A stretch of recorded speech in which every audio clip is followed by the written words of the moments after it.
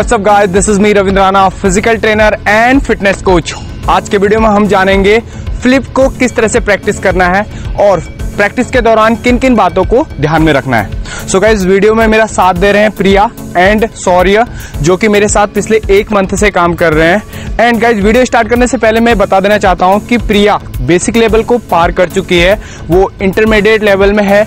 And जो सौर्य हैं वो आपके बेसिक लेवल में प्रैक्टिस कर रहे हैं अभी। सो so गाइज़ ये दोनों मेरे साथ पिछले एक मंथ से प्रैक्टिस कर रहे हैं कंटिन्यू इस एक महीने में इन्होंने क्या क्या सीखा, वो मैं आपको वीडियो में दिखाऊँगा। और प्रैक्टिस के दौरान किन किन बातों को ध्यान में रखना है, वो भी हम वीडियो में बात करेंगे। वीडियो में मैं पाँच पॉइंट्स को कवर करने वाला हूँ, जो कि प्रैक्टिस के लिए और फ्लिप सीखने के लिए काफ़ी ज़रूरी है गाइज़ सबसे पहला पॉइंट है stretching and warm up second technique third है प्रैक्टिस किस तरह से प्रैक्टिस करना है। फोर्थ पॉइंट जो है आपका डर को कैसे दूर करें? एंड फिफ्थ पॉइंट है डाइट प्लान सो गाइज़ इन पाँचों पॉइंट्स को हम अच्छी तरह से कवर करेंगे। वीडियो को पूरा देखना। स्टार्ट करते हैं फ़र्स्ट पॉइंट ओके गाइज़ जो फ़र्स्ट पॉइंट है stretching and warm up stretching and warm up के ज़रिए हम अपने बॉडी का टेम्परेचर इंक्रीज करते हैं गाइज़ जिससे हमारी बॉडी किसी भी वर्कआउट सेशन को कंप्लीट करने के लिए तैयार रहती है। अगर हम बिना स्ट्रेचिंग एंड वार्म अप के प्रैक्टिस करते हैं तो हमारी बॉडी में इंजरी के चांसेस बढ़ जाते हैं, क्योंकि हमारी बॉडी का टेम्परेचर लो होता है और हमारी बॉडी उस स्पीड से एक्शन नहीं ले पाती है जिसकी हमें ज़रूरत होती है। So so guys properly stretching and warm up करें और उसके बाद ही प्रैक्टिस सेशन को स्टार्ट करें, जिससे आपको इंजुरी नहीं होगी। स्ट्रेचिंग एंड वार्म अप के लिए आप सबसे पहले रनिंग करें और उसके बाद स्ट्रेचिंग उसके बाद ड्राई रिहर्सल कर सकते हैं। वो किस तरह से करना है हम आगे वीडियो में बात करेंगे, उसके बाद ही आप प्रैक्टिस करेंगे। So so guys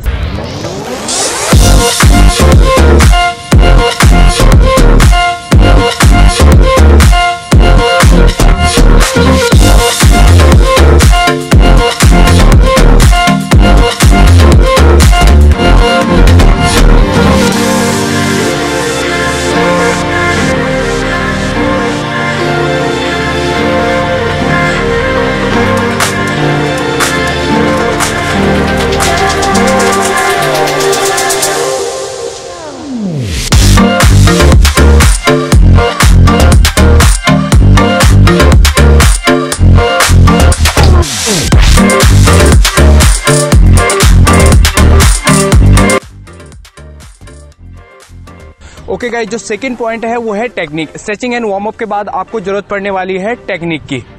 अलग अलग फ्लिप की अलग अलग टेक्निक होती है गाइस जिसको आपको जानना काफ़ी ज़रूरी है अगर आपको जल्दी से फ्लिप सीखना है तो. जैसे कि हाथों का स्विंग पैरों का स्विंग पैरों से जंप किस तरह से लेना है बॉडी पोस्चर किस एंगल में होना चाहिए एंड फाइनली आपको फोर्स कितना अप्लाई करना है. इन सब बातों को ध्यान में रखते हुए आपने प्रैक्टिस करना है, तभी जाके आप जल्दी से फ्लिप सीख पाएँगे. गाइस ध्यान से देखें एक बार इन वीडियो को. Thank you.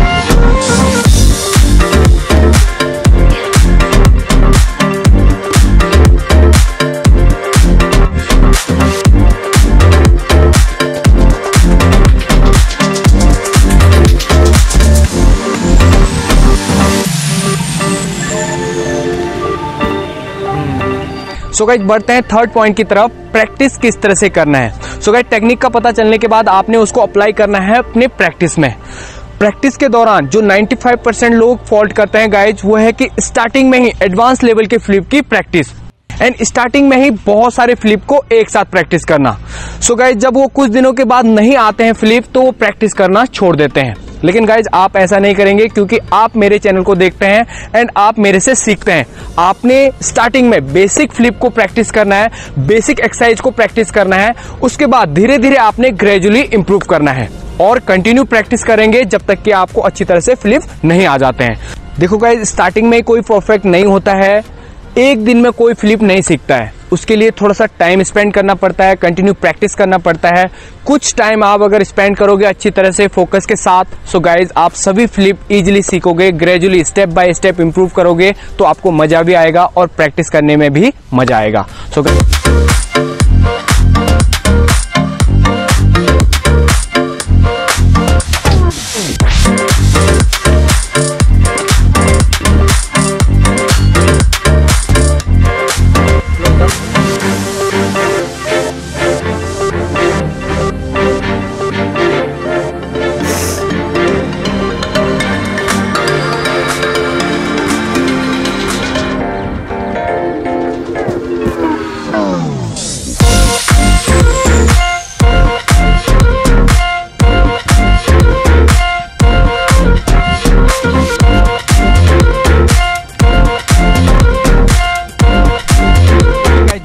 फोर्थ पॉइंट की तरफ़। फोर्थ पॉइंट है डर को कैसे दूर करें।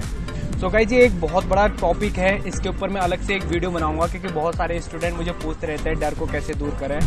उससे पहले हमें ये जानना ज़रूरी है गाइज़ कि किसी भी चीज़ को जब हम फ़र्स्ट टाइम प्रैक्टिस करते हैं तो हमारी बॉडी को और हमारे माइंड को डर लगने लगता है। क्योंकि हमें उस चीज़ के बारे में पता नहीं होता है गाइज़ और उसका एक्शन कैसे कंप्लीट होगा, वो पता नहीं होता है। और इसको दूर करने के लिए गाय सबसे पहले आपने एक तो बार बार प्रैक्टिस करना है और सेफ़ लैंडिंग पिट यूज़ करना है जिससे आपको कोई इंजरी ना हो। एक बार आपको चोट लग गई तो उससे और ज़्यादा डर आपका बढ़ जाएगा। इसलिए आप सेफ़ इक्विपमेंट को यूज़ करें लैंडिंग पिट सेफ़ यूज़ करें ताकि आपको डर ना लगे और आप इजिली प्रैक्टिस करें। जब आप कुछ दिन कंटिन्यू प्रैक्टिस करते हैं तो हमें उसमें कॉन्फिडेंट आने लगता है और हमारे जो अंदर डर बैठा होता है, हमारे बॉडी को जो डर लगने लगता है, वो धीरे धीरे दूर हो जाता है गाइज़ तो इस तरह से आपने कंटिन्यू पहले बेसिक लेवल और ग्रेजुअली इम्प्रूव करें, जिससे आपको डर नहीं लगेगा और आप आसानी से सीखने लगेंगे।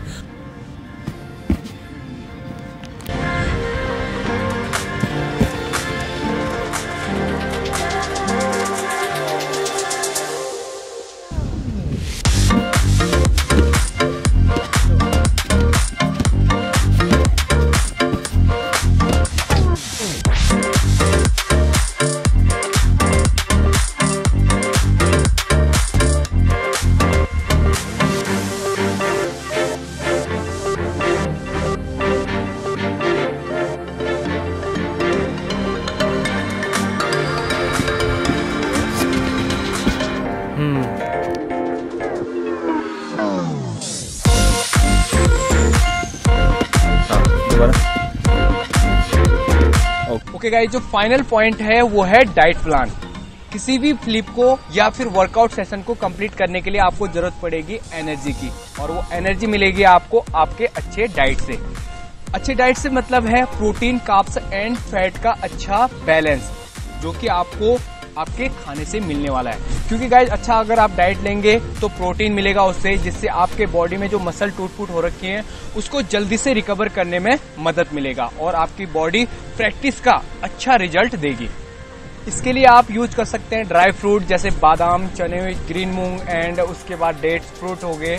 इस तरह से ग्रीन वेजिटेबल हो गए। इनको आप अपने खाने में ऐड कर सकते हैं, जिससे आपको एनर्जी मिलेगी और आपका जो प्रैक्टिस सेशन है और प्रैक्टिस का जो रिज़ल्ट है, वो आपको जल्दी मिलना शुरू हो जाएगा। सो so गाइज़ इन चीज़ों का आपने ध्यान रखना है और कंटिन्यू प्रैक्टिस करना है, जिससे आपको अच्छे से रिज़ल्ट मिलेंगे।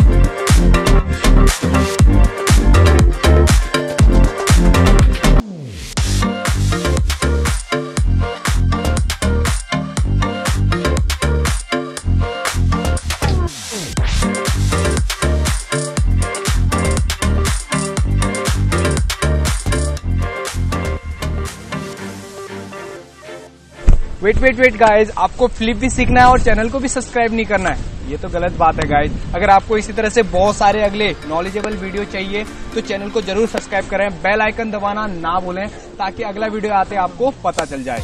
वीडियो से रिलेटेड कोई भी क्वेश्चन है आपका तो कमेंट बॉक्स में ज़रूर बताएँ, या फिर मुझे इंस्टाग्राम में फॉलो कर सकते हैं गाइज़ लिंक दे रहा हूँ मैं वीडियो के डिस्क्रिप्शन में। आप मुझे इंस्टाग्राम में जाके बहुत सारे क्वेश्चन पूछ सकते हैं, वहाँ मैं आपको रिप्लाई करूँगा।